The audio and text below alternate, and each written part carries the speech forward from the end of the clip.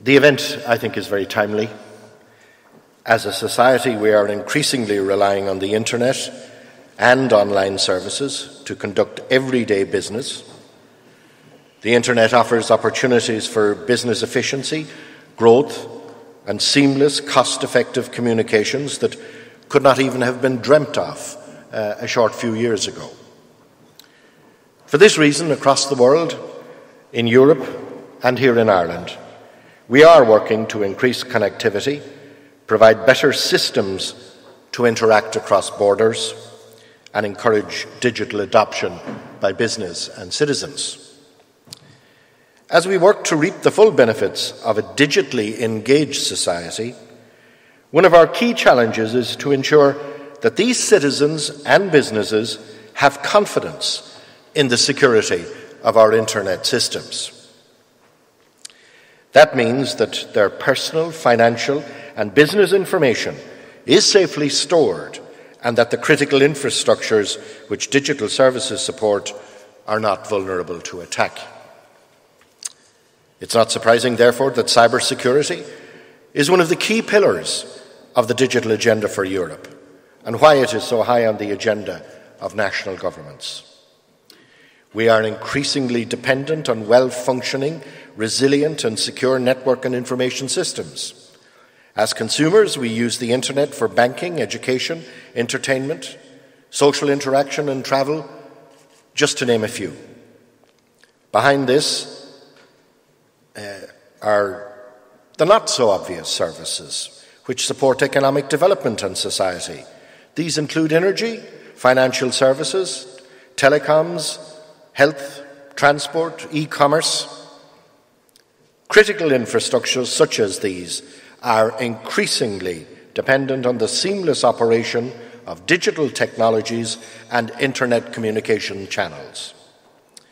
An open and stable cyberspace throughout the world is critically important if we are to maintain the momentum of growth in this sector.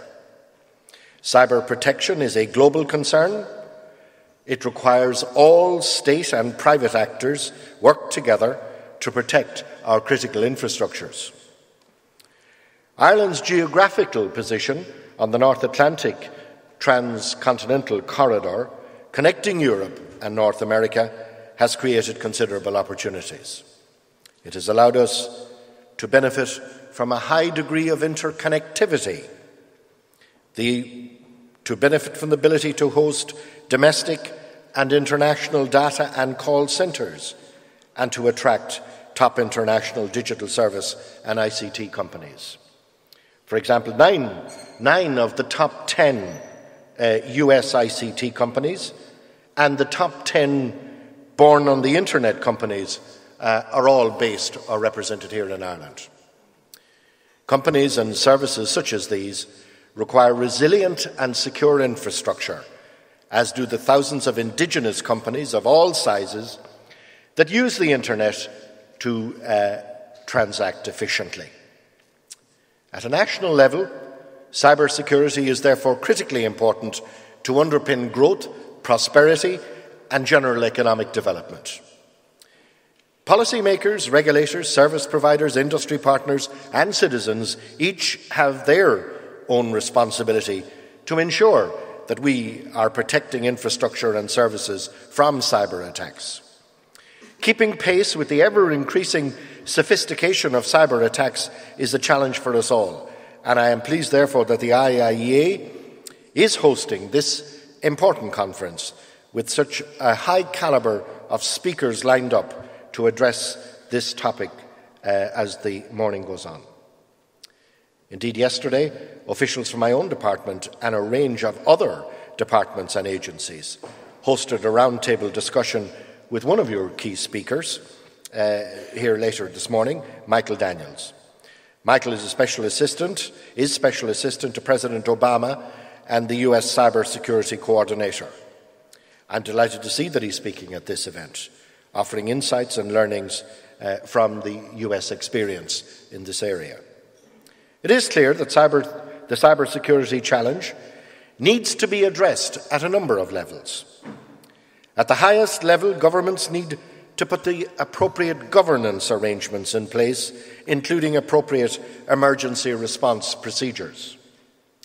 Industry, manufacturers, and users of ICT also need to make the appropriate investments. And end users need to remain aware of the risks uh, and interact responsibly online. As citizens, we are expected to use antivirus software technology when communicating on the internet. We expect, in turn, that commercial online services will protect data encompassing both corporate information, uh, intellectual property, uh, and our personal data. We expect that as a society, we can effectively hold criminals and other malicious actors to account through appropriate and proportionate laws and regulations that are fit for purpose. At the policy level, new EU and national structures have been established to address these challenges. These include the Computer Emergency Response Community, the European Centre for Cybercrime in Europol, cybercrime centres of excellence, uh, such as, for example, UCD, and the extension of mandate for the European Network uh, and Information Security Agency, ENISA, uh, which was negotiated uh, as part of the Irish presidency uh, of the European Union. During the Irish presidency earlier this year, the European Commission published proposals for a new strategy on an open, safe, and secure cyberspace. This cyber security strategy aims to protect the same norms, principles, and offline values that we hold in the online environment. The strategy included a, a, proposal for a directive on network and information security. The directive aims to increase the level of preparedness in all EU member states. It also addresses secure information sharing between member states and the requirement for critical infrastructure stakeholders to report cybersecurity breaches. While there, is, while there is further detailed negotiation required, I believe this is an important further step in the formation of a robust European response on cyber protection. The role and importance of structured exercises in improving cyber security has also been an important aspect of EU policy. Ireland has organised and participated in national and international structured exercises in cybersecurity. These exercises are very useful in that they bring key stakeholders together to address common problems and challenges. These exercises, along with conferences like today, provide essential networking opportunities and help build a community of allies to call on when cyber incidents do occur. The European Initiative, as I mentioned earlier, aims to address a key pillar of the vision for a digitally engaged Europe as envisaged in the digital agenda for Europe. In Ireland, my own department, in conjunction with critical infrastructure partners and international peers, is developing a cybersecurity capability. This encompasses the creation of a national cyber security centre, which includes a computer emergency response function, building partnerships with industry partners, and the delivery of public awareness activities.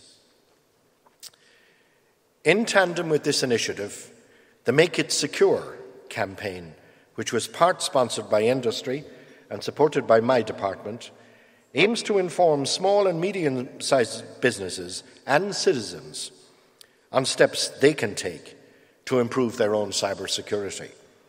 The various government departments and agencies work closely together, cooperating to develop robust responses to cybercrime to data protection and protection of government networks. Finally, I hope that this conference will help guide us on steps that we will be taking to improve our security, recognizing that each of us is ultimately responsible for our own online security. Government will continue to play a key role in establishing an appropriate environment that facilitates an open, safe, and resilient cyberspace for the digital economy and for the digital society. Many of your expert speakers, I appreciate, Chairman, have travelled far to be with us here today. I expect the debate will be interesting and informative, and will explore many new ideas for tackling our common challenges associated with uh, the uh, cyberspace. I wish the conference well and look forward to learning from the outputs. Thank you very much, Chairman.